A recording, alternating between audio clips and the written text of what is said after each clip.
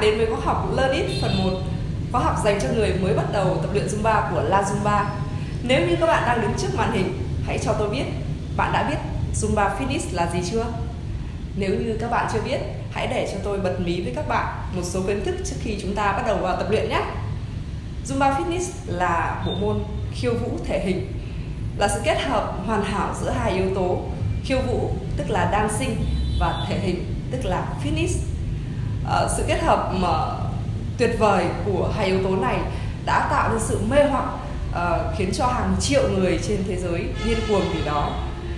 Zumba Fitness uh, mang lại rất nhiều hiệu quả khi uh, trong quá trình các bạn tập luyện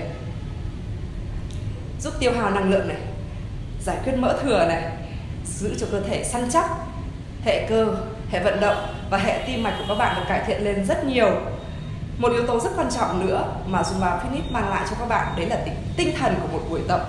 Tinh thần của một buổi tập Zumba là tinh thần của một bữa tiệc. Cho nên những giờ phút đó khiến cho bạn luôn được vui vẻ thoải mái sảng khoái được la hét cùng với tất cả những người tập luyện xung quanh mình. La Zumba là thương hiệu đầu tiên và lớn nhất hiện nay phổ cập bộ môn này tới cộng đồng. Hiện tại chúng tôi đã có hơn 10, 50 điểm tập à, tại các tỉnh thành Hà Nội, Sài Gòn, Vinh và Hải Phòng. À, trong thời gian tới chúng tôi sẽ tiếp tục lan tỏa hơn nữa. Bạn có thể truy cập website của chúng tôi lazum số 3.com để biết thêm chi tiết.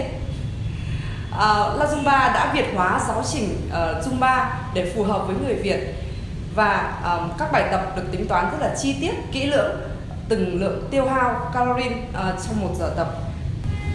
Vâng, với khóa học Learn It phần 1 La Zumba giúp cho các bạn uh, tập luyện 4 điệu cơ bản merengue, cumbia, salsa và reggaeton.